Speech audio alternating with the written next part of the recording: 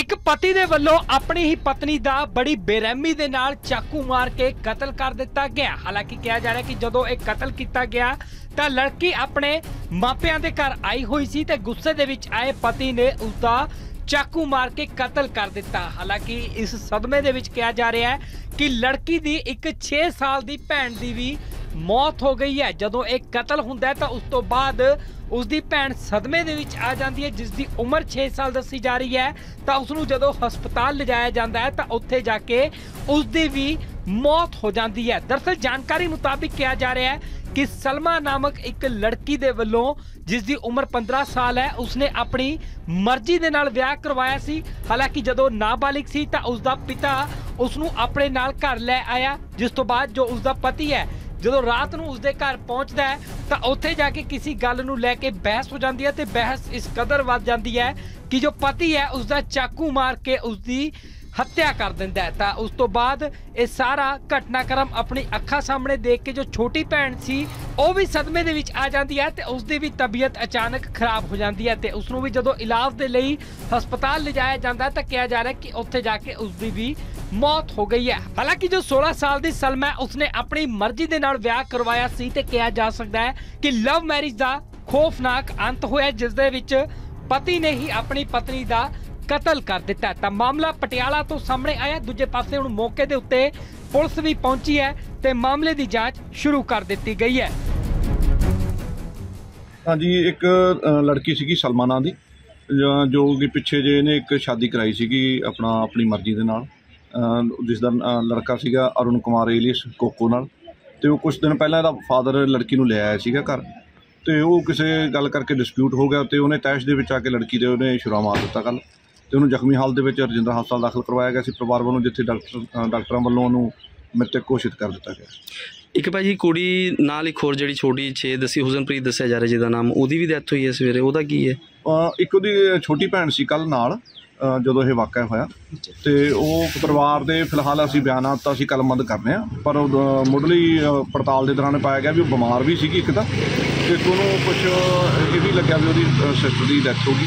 ਤੇ ਉਹਨੂੰ ਅੱਜ ਇਹਨਾਂ ਨੇ ਜਦੋਂ ਜ਼ਿਆਦਾ ਬਿਮਾਰ ਹੋ ਗਈ ਸਵੇਰੇ ਉਹਨੂੰ ਹਸਪੀਟਲ ਦਾਖਲ ਕਰਵਾਇਆ ਗਿਆ ਰਜਿੰਦਰਾ ਤੇ ਜਿੱਥੇ ਉਹਦੀ ਵੀ ਡੈਥ ਹੋ ਗਈ। ਤੇ ਭਾਜੀ ਇਹ ਬਾਲਿਕ ਦੱਸਿਆ ਜਾ ਨਾਬਾਲਿਕ ਹੈ? ਕਿਉਂਕਿ ਵਿਆਹ ਦੱਸਿਆ ਜਾ ਰਿਹਾ ਨੇ ਵਿਆਹ ਕਰਿਆ ਹੋਇਆ ਇਹ ਮਤਲਬ ਹੈ ਤਾਂ ਨਾਬਾਲਗ ਨੇ ਹੈਗੀਆਂ ਮਤਲਬ ਐਕਚੁਅਲ ਡੇਟ ਆਫ ਬਰਥ ਇਹਦੇ ਫਾਦਰ ਨੂੰ ਨਹੀਂ ਪਤਾ ਇਹਨਾਂ ਦੀ। ਗਰੀਬ ਪਰਿਵਾਰ ਹੋਣ ਕਰਕੇ ਪੜ੍ਹੀ ਲਿਖੀ ਵੀ ਹੈ ਨਹੀਂ, ਕੋਈ ਇਹਦਾ ਸਰਟੀਫਿਕੇਟ ਵਗੈਰਾ ਹੈ ਨਹੀਂਗਾ। ਤੇ 15 16 ਸਾਲ ਦੇ ਕਰੀਬ ਸਾਨੂੰ ਦੱਸੀ ਜਾ ਰਹੀ ਹੈ। ਇੱਕ ਪਤੀ ਦੇ ਵੱਲੋਂ ਆਪਣੀ ਹੀ ਪਤਨੀ ਦਾ ਬੜੀ ਬੇਰਹਿਮੀ ਦੇ ਨਾਲ ਚਾਕੂ ਮਾਰ ਕੇ ਕਤਲ ਕਰ ਦਿੱਤਾ ਗਿਆ। ਹਾਲਾਂਕਿ ਕਿਹਾ ਜਾ ਰਿਹਾ ਕਿ ਜਦੋਂ ਇਹ ਕਤਲ ਕੀਤਾ ਗਿਆ, ਤਾਂ ਲੜਕੀ ਆਪਣੇ ਮਾਪਿਆਂ ਦੇ ਘਰ ਆਈ ਹੋਈ ਸੀ ਤੇ ਗੁੱਸੇ ਦੇ ਵਿੱਚ ਆਏ ਪਤੀ ਨੇ ਉਸਦਾ ਚਾਕੂ ਮਾਰ ਕੇ ਕਤਲ ਕਰ ਦਿੱਤਾ। ਹਾਲਾਂਕਿ ਇਸ ਸਦਮੇ ਦੇ ਵਿੱਚ ਕਿਹਾ ਜਾ ਰਿਹਾ ਹੈ ਕਿ ਲੜਕੀ ਦੀ ਇੱਕ 6 ਸਾਲ ਦੀ ਭੈਣ ਦੀ ਵੀ ਮੌਤ ਹੋ ਗਈ ਹੈ। ਜਦੋਂ ਇਹ ਕਤਲ ਹੁੰਦਾ ਹੈ ਤਾਂ ਉਸ ਤੋਂ ਬਾਅਦ ਉਸ ਦੀ ਭੈਣ ਸਦਮੇ ਦੇ ਵਿੱਚ ਆ ਜਾਂਦੀ ਹੈ, ਜਿਸ ਦੀ ਉਮਰ 6 ਸਾਲ ਦੱਸੀ ਜਾ ਰਹੀ ਹੈ।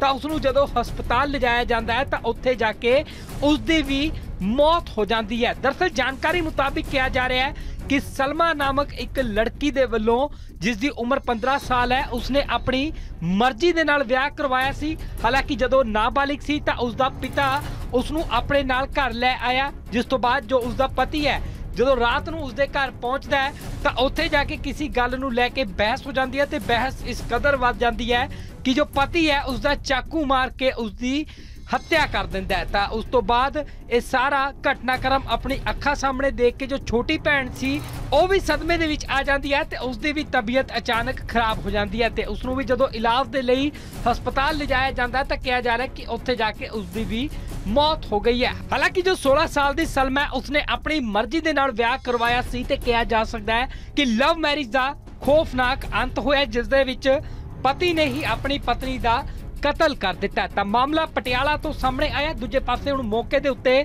ਪੁਲਿਸ ਵੀ ਪਹੁੰਚੀ ਹੈ ਤੇ ਮਾਮਲੇ ਦੀ ਜਾਂਚ ਸ਼ੁਰੂ ਕਰ ਦਿੱਤੀ ਗਈ ਹੈ। ਹਾਂਜੀ ਇੱਕ ਲੜਕੀ ਸੀਗੀ ਸਲਮਾਨਾ ਦੀ। ਜੋ- ਕਿ ਪਿੱਛੇ ਜੇ ਇਹਨੇ ਇੱਕ ਸ਼ਾਦੀ ਕਰਾਈ ਸੀਗੀ ਆਪਣਾ ਆਪਣੀ ਮਰਜ਼ੀ ਦੇ ਨਾਲ। ਅ, ਜਿਸ ਦਾ ਲੜਕਾ ਸੀਗਾ ਅਰੁਣ ਕੁਮਾਰ ਏਲੀਅਸ ਕੋਕੋ ਨਾਲ। ਤੇ ਉਹ ਕੁਝ ਦਿਨ ਪਹਿਲਾਂ ਇਹਦਾ ਫਾਦਰ ਲੜਕੀ ਨੂੰ ਲੈ ਆਇਆ ਸੀਗਾ ਘਰ। ਤੇ ਉਹ ਕਿਸੇ ਗੱਲ ਕਰਕੇ ਡਿਸਪਿਊਟ ਹੋ ਗਿਆ ਤੇ ਉਹਨੇ ਤੈਸ਼ ਦੇ ਵਿੱਚ ਆ ਕੇ ਲੜਕੀ ਦੇ ਉਹਨੇ ਛੁਰਾ ਮਾਰ ਦਿੱਤਾ ਕੱਲ ਤੇ ਉਹਨੂੰ ਜ਼ਖਮੀ ਹਾਲਤ ਦੇ ਵਿੱਚ ਰਜਿੰਦਰ ਹਸਪਤਾਲ ਦਾਖਲ ਕਰਵਾਇਆ ਗਿਆ ਸੀ। ਪਰਿਵਾਰ ਵੱਲੋਂ ਜਿੱਥੇ ਡਾਕਟਰ ਡਾਕਟਰਾਂ ਵੱਲੋਂ ਉਹਨੂੰ ਮ੍ਰਿਤਕ ਘੋਸ਼ਿਤ ਕਰ ਦਿੱਤਾ ਗਿਆ।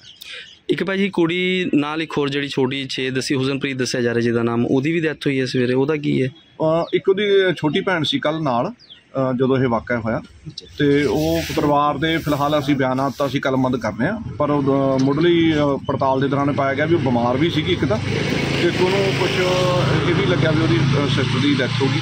ਤੇ ਉਹਨੂੰ ਅੱਜ ਇਹਨਾਂ ਨੇ ਜਦੋਂ ਜ਼ਿਆਦਾ ਬਿਮਾਰ ਹੋ ਗਈ ਸਵੇਰੇ ਉਹਨੂੰ ਹਸਪੀਟਲ ਦਾਖਲ ਕਰਵਾਇਆ ਗਿਆ ਰਜਿੰਦਰਾ ਤੇ ਜਿੱਥੇ ਉਹਦੀ ਵੀ ਡੈਥ ਹੋ ਗਈ। ਤੇ ਭਾਜੀ ਇਹ ਬਾਲਿਕ ਦੱਸਿਆ ਜਾਂ ਨਾਬਾਲਿਕ ਹੈ? ਕਿਉਂਕਿ ਵਿਆਹ ਦੱਸਿਆ ਜਾ ਰਿਹਾ ਨੇ ਵਿਆਹ ਕਰਿਆ ਹੋਇਆ ਇਹ ਜ- ਮਤਲਬ ਹੈ ਤਾਂ ਨਾਬਾਲਗ ਨੇ ਹੈਗੀਆਂ ਮਤਲਬ ਐਕਚੁਅਲ ਡੇਟ ਆਫ ਬਰਥ ਇਹਦੇ ਫਾਦਰ ਨੂੰ ਨਹੀਂ ਪਤਾ ਇਹਨਾਂ ਦੀ। ਗਰੀਬ ਪਰਿਵਾਰ ਹੋਣ ਕਰਕੇ ਪੜ੍ਹੀ ਲਿਖੀ ਵੀ ਹੈ ਨਹੀਂ ਕੋਈ ਇਹਦਾ ਸਰਟੀਫਿਕੇਟ ਵਗੈਰਾ ਹੈ ਨਹੀਂਗਾ ਤੇ 15 16 ਸਾਲ ਦੇ ਕਰੀਬ ਸਾਨੂੰ ਦੱਸੀ ਜਾ ਰਹੀ ਹੈ।